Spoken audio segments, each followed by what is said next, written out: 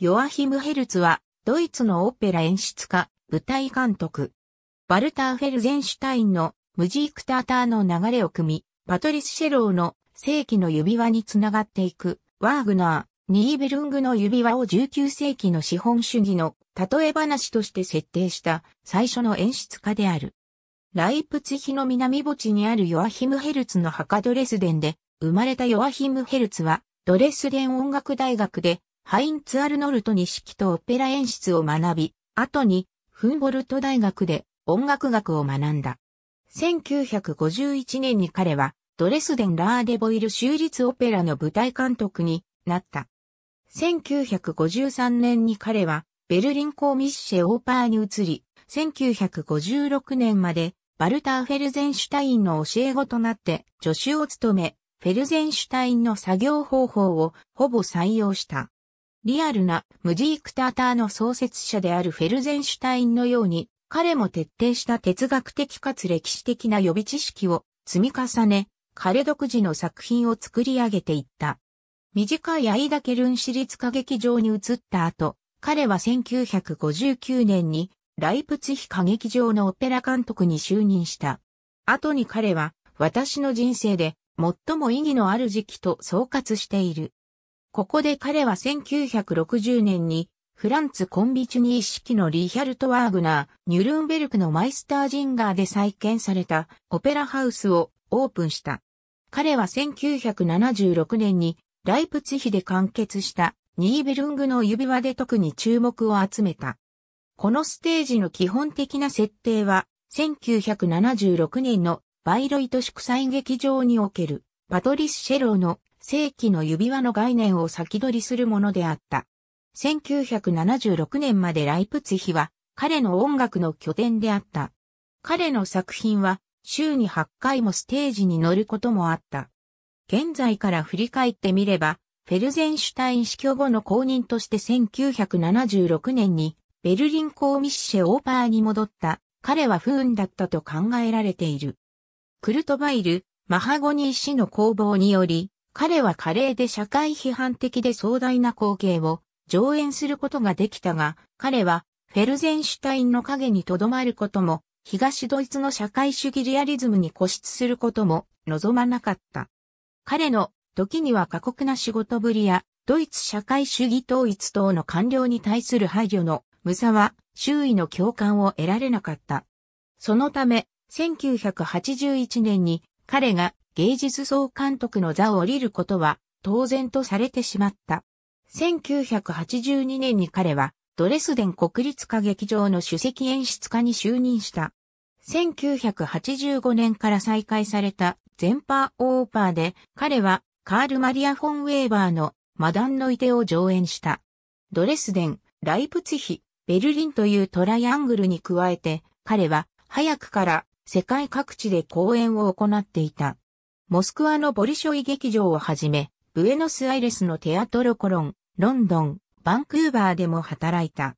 彼は合計126の作品と60を超えるオペラの新作を上演し、その多くが今や手本となっている。2010年10月18日ライプツヒで死去。86歳没。1973年から1976年にかけてヨアヒム・ヘルツはライプツヒ歌劇場で指輪の全4部作を上演した。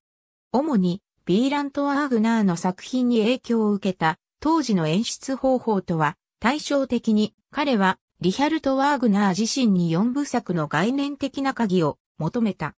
特に1848年革命のバリケード投資となった彼の社会革命的な考え方は数多くの著作の中で説明されている。1848年、ワーグナーは指輪の詩を書き始めている。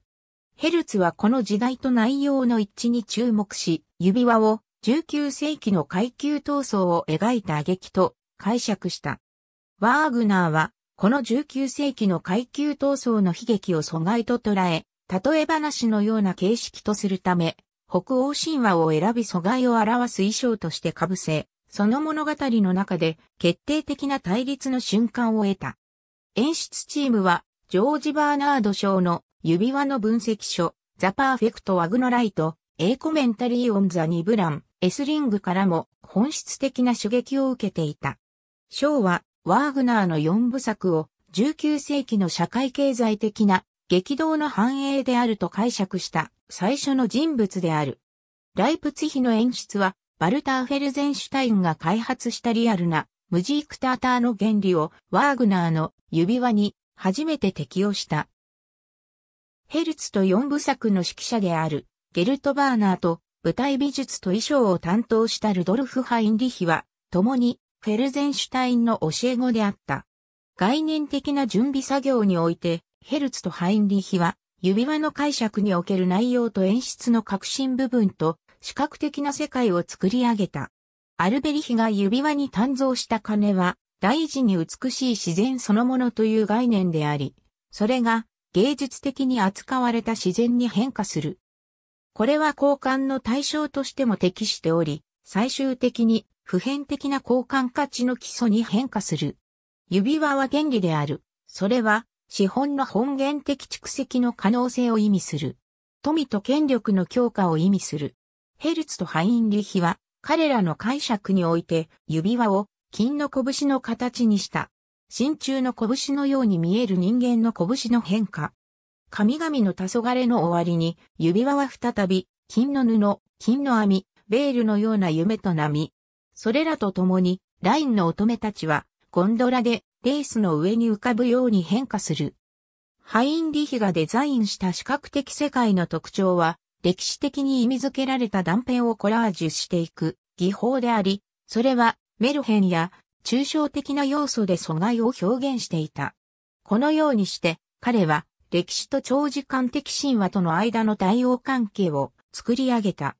神々の城であるバルハラはブリュッセル最高裁判所ゴットフリート全パーによるウィーンのブルク劇場の階段、鳥の大聖堂のガラスのドームを組み合わせたものであった。指輪の解釈の本質的な問題は、神々の黄昏の終わりに実際に滅びるものは何かということであった。世界そのものなのか、それともボータンの世界なのか。ヘルツとハインリヒは、ここで滅びるのは、ボータンとその敵であるアルベリヒの世界であると導き出した。その結果、ヘルツはジークフリートの創造行進曲をボータンの大位と再解釈した。神々の父が錆びれたのわしの鉄塔の列を歩き敬礼する。ライプツヒ作品の最後のシーンではワーグナーによって定義されていない男女が空のステージに立っていた。終わりはタブララーサである。古いものは一掃された。今、新しいものが始まる。新しいものがどうなっていくのか、この時点では示すことができない。ワーグナーもわからないのだ。ヘルツは19世紀の資本主義の例え話としてニーベルングの指輪を設定した最初の演出家であった。その後、このような背景のない作品はほとんどない。セローが1976年にバイロイト祝祭劇場で発表した世紀の指輪はすべてヘルツの革新に基づいており、これだけでも今日のオペラ界から見ればヘルツはスーパースターであったと言える。しかしながら、シェローの指輪とは異なり、ヘルツの画期的な解釈は、当時の東ドイツの技術ではビデオに記録できなかったため、ドイツ民主共和国の芸術アカデミーの2冊のワークブックにのみ記載されている。オペルンリー・ジョッサー、ヨアキム・ヘルツ・ゲシュトルベン、イン、ベルトオンライン、18、オクトーバー2010、ブルーグ、マニュエル、デアリー・ジョッサー・オスト・カールグ。ダイベルト、https コロンスラッシュスラッシュ www.belt. でスラッシュプリントスラッシュダイ、ベルト、クルトゥール、アーティクル1041万5840、デアリー・ジョッサー・オスト・カールグ、HTML2021 年5月19日、閲覧。エクアルテ・クロップリン、リチャード・ワーグナー・クロニック、JB、メッツァラー・バーラグ GmbH シュトゥットガルト2016、ISBN 978から3から476025876 S158ABC ヨアキムヘルツ、インストシニールトリチャード・ワグナーズ、リングデニーベルンゲン AM オープンハウスライプツヒ、アイテーユ、ダスライノゴルト、ダイワルキューレ、アカデミーデア・クンシュタ・デア・ドイチェン・デモクロティション・リパブリック、ベルリン1975ハット・ワルター・フェルゼンシュタイン、GTZ フリードリヒ、ヨアキム・ヘルツ、ムジーク・シアター、バイトリッカーツア・メチディック・ウントズ、インセン・エールングス・コントセプショナン、バーラグ・フィリップ・リクラム・ジュン、ライプツヒ1970、S206 フォルティシモ・ハット ABC ヨアキム・ヘルツ、インストゥシニールとリチャード・ワグナーズ、リングデニーベルンゲン AM オープンハウスライプツヒ、2、テーユ、ジークフリート、ダイグターデマーン、アカデミーデア・クンシュタ・デア・ドイチェン・デモクロティション・リパブリック、ベルリン1980プログラムヘフトズ、リチャード・ワーグナー、ダイ・ワルキューレ、HRSG、フォム・ライプシガーシアター、シュピールトサイト1973、74、ヘフト16ポール・ムーア、ライプツヒズクとネウエンズゴングズ、ワーグナー、ツァークズデンリアライタチン、イン、ダイツァイトフォム20、エープリル1973、スシャツナーハデルシュピーグル42、1974、S156-161、ツシャツナーハデルシュピーグル16、1973、S194-197 ハットインタビューミット、リー・ジョッサー、ヨアキム・ヘルツ10、2002、イン、デアノイエマーカーナンバー。155枚、12-2009、ヨアキム・ヘルツ・インストゥシニールとリチャード・ワグナーズ、リングデニーベルンゲン AM オープンハウスライプツヒ、アイテーユ、